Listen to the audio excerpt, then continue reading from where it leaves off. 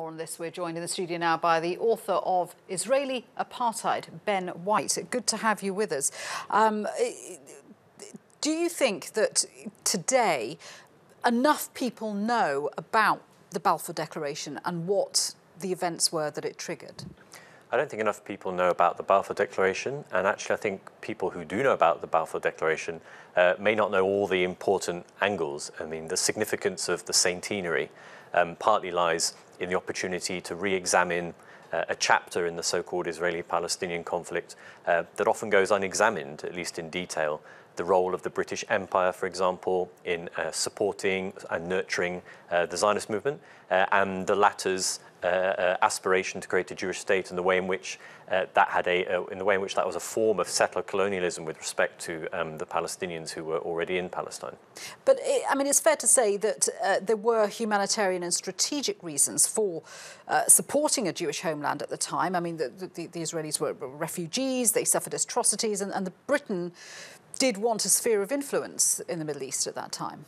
Yeah, I mean, Britain certainly had material political interests with respect to uh, the empire.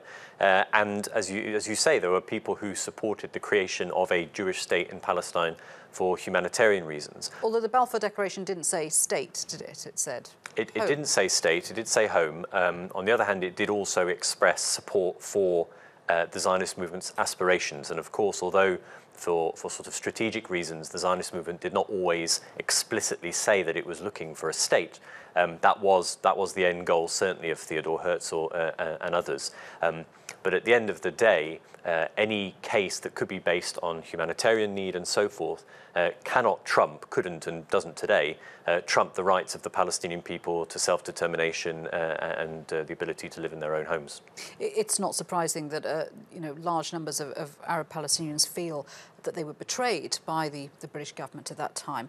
Um, do you think the British government should uh, acknowledge uh, the impact that that had on the Palestinians. And, and go, let's go further. Should Britain be doing more to try and, and reach some kind of resolution in the uh, Arab-Israeli situation?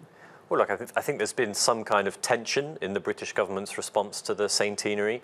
Uh, on the one hand, there has been uh, a, a pride, in their words, in terms of, of the declaration having been issued uh, and an expression of support for the State of Israel but that expression of pride has often gone alongside an acknowledgement, uh, a, a, limited acknowledgement, but an acknowledgement nonetheless that uh, Palestinian rights uh, have not been realised. Now, I think going forward, uh, while demands for an apology or a recognition of a Palestinian state uh, are ones that we've been hearing this week, I think it, uh, something that would really make a big difference going forward uh, would be accountability, uh, because Britain still considers, and we've seen this in remarks that Boris Johnson made in Parliament this week, Britain still considers private criticism and so-called constructive engagement to be the way to make a difference with respect to Israeli violations of international law. And the record, unfortunately, shows that that just doesn't work. Uh, you talk about accountability. Um, recent prime ministers, including David Cameron and Tony Blair, have um, talked in a vague way about British culpability, but certainly this idea of accountability or even an apology uh, had, that has not been on the table at all. No, and I mean for, for Palestinians, I mean their lived daily reality today in Palestine or as, as refugees who can't go home uh, is, is a brutal one. Uh, and of course, they would like an apology for, for what Britain did and Britain's role and responsibility uh, uh, in, in, the establishment of the Jewish state in Palestine. But I think more than that, Palestinians would like Britain to end its complicity now in what is happening. Uh, and that, that could happen in a number of different ways. There's a number of different uh, tools and measures at Britain's disposal, as there are at the disposal of European states and others, uh, to apply meaningful pressure on Israel to end these violations. I mean, it's quite clear that the situation that exists today is not the one that Britain would have said that it wanted to end up with. So should Britain be taking a, a, a much more um, aggressive line against things like the continued settlement, illegal settlement building in uh, Palestinian land? Sure. I think there's two different things there. I think we have to be realistic about what Britain was knowingly doing when it issued the Balfour Declaration with its policies during the, the mandate, the occupation of Palestine for some 30 years. Um, the fact is today, Theresa May and the British government uh, as all the British governments before it have done, it defines itself or thinks of itself as a proud ally of Israel, despite knowing what Israel has done, what it continues to do.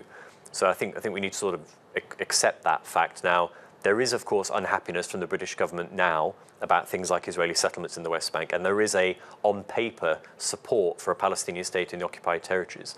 But what we haven't seen yet, and this again, of course, isn't exclusive to Britain, but what we haven't seen yet is something that the Balfour Declaration represented, and that what, and it's carried through to today, and it's an approach that subordinates Palestinian rights to demands, not rights, of the Zionist movement and now the State of Israel. Uh, and un- until that ends, then unfortunately there's not going to be a situation there which Britain may or may not have wanted, but certainly many people of goodwill want now, which is a situation of equality. Yeah, complex situation. Ben, thank you very much indeed for speaking with us. Ben White there.